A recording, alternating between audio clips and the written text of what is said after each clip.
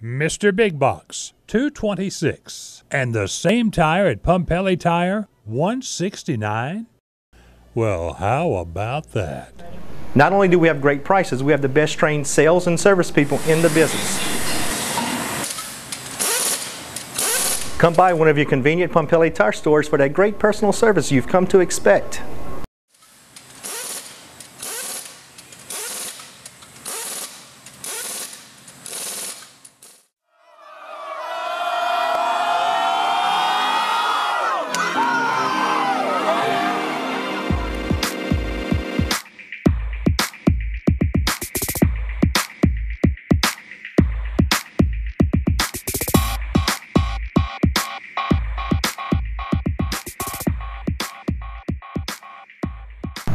Hi, I'm Rachel Whittaker, sports writer at the Lake Charles American Press, coming to you with this week's Prep Football Roundup.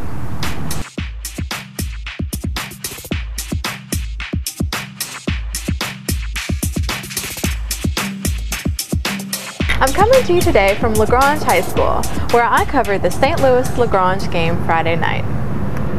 If you saw LaGrange's stats, you might not think they had much of a chance to win. Try 15 penalties in the first half alone and four interceptions by senior quarterback Joseph Spruill.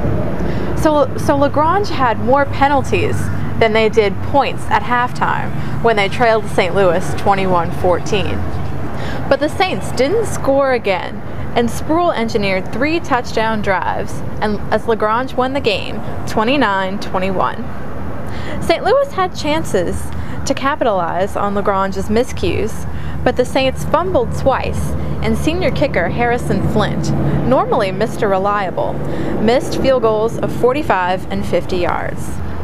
Spruill finished with 166 yards, and the game-winning touchdown pass was a 43-yarder to Freddie Williams. When I talked to LaGrange coach Joel Sullen after the game, he told me he had a conversation with Spruill at halftime about his poor play. Spruill asked him to have faith in him, as he promised to get better in the second half. And Sullen agreed to stay with Spruill, his senior quarterback, who he's known for four years and been a starter for two years. The move paid off, obviously, as LaGrange is now 3 0 in district play. St. Louis is 2 1.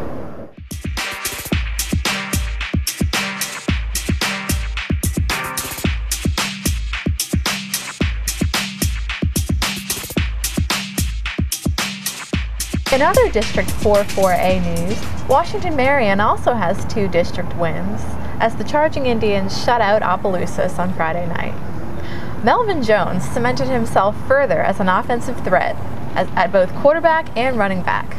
This time he rushed for 200 yards and had two partners in crime in Julius Fontenot and O'Shea Jackson.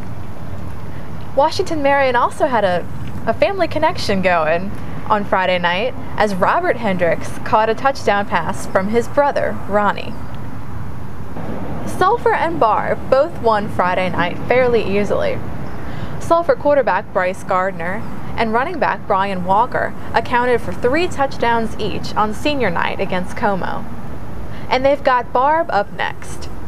Barbe lost sophomore phenom quarterback Kenan Fontenot to injury in the first half, but the Bucks offense really didn't stop that much, as backup Ryan Nolan came in, and along with running back Courtney Galentine and jack of all trades Trey Quinn, they were able to knock off Sam Houston 48 to 7. The Broncos have now lost five straight games.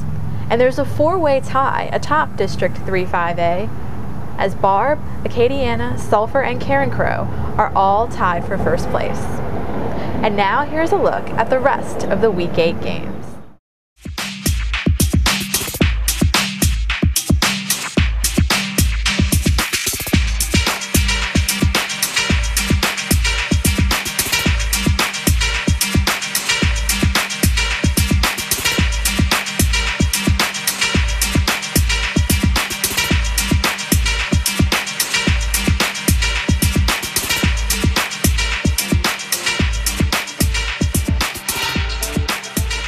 A few streaks to note to close this week's roundup.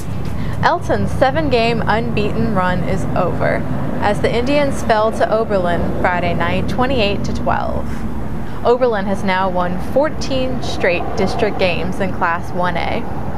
And there are no longer any winless teams in the lake area, as both Iota and Hamilton won their first games of the season under their new coaches. Thanks for joining us again for this week's Prep Football Roundup. Check AmericanPress.com this week for our Friday forecast of Week 9 and there are only two more weeks in the regular season, so the playoffs are rapidly approaching. And as always, pick up an American Press print edition daily for a look at scores, features, highlights, and analysis from high school, college, and professional sports. For now, from LaGrange High School, I'm Rachel Whittaker.